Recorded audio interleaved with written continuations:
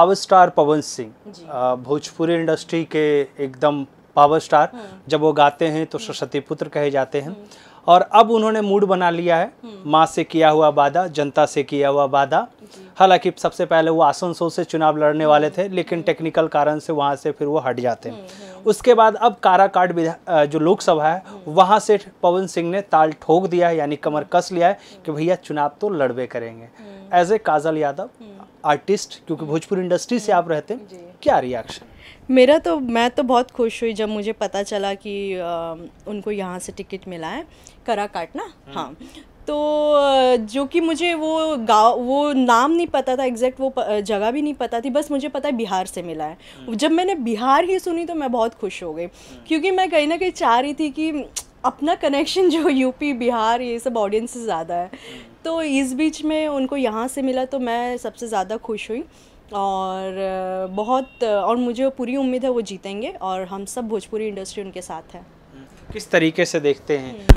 BJP से वो ticket लेने वाले थे लेकिन बीजेपी से नहीं मिल पाया। निर्दलीय उन्होंने कह दिया है कि भैया हम चुनाव लड़ेंगे। क्या लग रहा है कि तीन सांसद बने बीजेपी की तरफ़ से?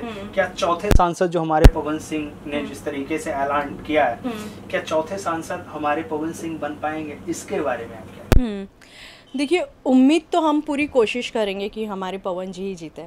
है ना? उम्मीद करने वालों की कभी हार नहीं होती ना कोशिश करने वालों की। तो हमारी सबकी कोशिश रहेगी पवन जी के साथ देना और उनको जिताना। और मैं वहाँ की जनता को भी यही कहूँगी कि प्लीज़ हमारे पवन जी को जिताइए। बहुत अच्छे हैं बहुत अच्छे दिल के हैं। क्योंकि जो इंसान इतना मट्टी से जुड़ा हुआ है ना वो लोगों की फीलिंग्स को बहुत अच्छे से समझेंगे। अ, मेरी एक दो बारी उनसे मुलाकात हुई है फ़िल्म के सिलसिले में और एक दो ही मुलाकात में मुझे समझ में आ गया। वो बहुत ही मतलब डाउन टू अर्थ इतने बड़े स्टार होने के बाद भी उनको एक एक लोगों की फीलिंग्स का अंदाज़ा रहता है कि कौन, क्या, कैसे, कौन, किस तकलीफ़ में है। तो इससे पता चलता है कि वो इंसान बहुत अच्छे हैं। कोई भी पोस्ट हो, सबसे पहले वो इंसान अच्छा होना चाहिए। तो पवन जी वाकई में बहुत अच्छे इंसान हैं, बहुत इमोशनल हैं और वो लोगों की सिचुएशन को समझेंगे, उनकी मदद करेंगे और मुझे लगता है बहुत अच्छा इम्प्रूवमेंट आएगा उस जगह पे।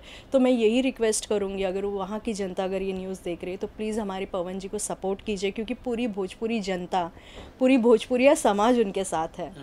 क्या काजल यादव को पवन सिंह के चुनावी कैंपेन में देखने को मिलेगा? क्या चकारा काट की जो जनता है वो सड़क पे जीप में हाथ हिलाते हुए पवन सिंह के लिए वोट मांगते हुए गलियों में नज़र आने वाली जी जी ज़रूर। अगर कहीं ना कहीं ऐसा लगा अगर मुझे अगर मेरा एक परसेंट भी अगर सपोर्ट चाहिए होगा तो मैं पूरा हंड्रेड परसेंट देने को तैयार हूँ।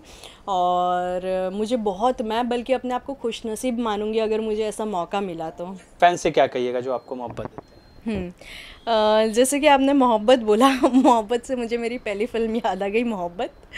तो आप लोगों ने मोहब्बत को बहुत मोहब्बत दिया है और मोहब्बत की उस लड़की को बहुत मोहब्बत दिया है। आज भी मैं कहीं पे भी शूटिंग करती हूँ यूपी हो गया बिहार हो गया या कहीं पे भी कोई भी गाँव में हो गया तो लोग मुझे अ, उसी फ़िल्म से बहुत जानते हैं। तो मैं यही कहूँगी कि मेरी जनता मुझे अपना प्यार आशीर्वाद जो मोहब्बत लड़की को दिया था वैसे ही हमेशा देते रहिए ताकि मैं और अच्छा काम करते रहूँ और अच्छे अच्छे स्टार्स के साथ काम करो। जैसे अक्सर लोगों के सवाल होते हैं आप इनके साथ कब दिखोगी उसके साथ कब दिखोगी। देखिए ये सब भगवान के आशीर्वाद के आगे ना सब पॉसिबल होता है। तो आप लोग प्लीज़ अपना प्यार आशीर्वाद दीजिएगा मुझे और अच्छा काम करूँ मैं। Thank you ma'am thank you